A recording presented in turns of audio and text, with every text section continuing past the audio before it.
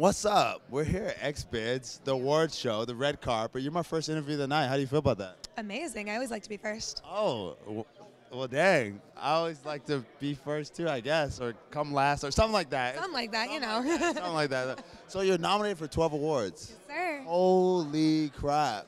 How did you pull that off? I don't know. I just really like to fuck. I guess that would do it, right? that would do it. What's like the most important award that you're like, wow, I didn't expect that one. That's cool. um, I'm just my favorites that are I'm really excited for. The performer of the year is girl, girl, and female. I want. I'm the current girl, girl performer of the year as of last year. so, Wow. uh, first uh, female performer of the year nomination for Expos. Wow, that's awesome. Congratulations. So, so did it for the first Expos of all time, and now we're up for the, the second one and, and dominating, and killing it. That's amazing. So, so uh, with first girl girl scene, like that one right there. She got snubbed for female performer. Snubbed. Dang, that's real. That's that's Ryan. Ryan said it. You know what I'm saying?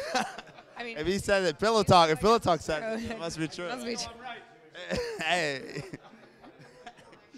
Do you think that's true? I can't comment on that one. I Comment. No comment. no, there were a lot of wonderful ladies, and, and honestly, I, I was happy that she won. Okay, awesome. I can be, I can be a humble loser. Oh, well, XBiz and uh, XBiz Awards and X3, it's such a new thing. Like, how does how did you feel it separate? It's different from the other like the AVNs, Exxxoticas, the other shows, the other conventions. I'll be honest, I haven't had a chance to make the X3 convention really. Um, I've, I've been out of town for both of them.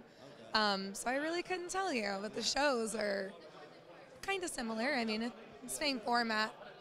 So, Well, hopefully, uh, I hopefully you, you're obviously gonna win one of these awards. You're gonna murder it. You're gonna kill it.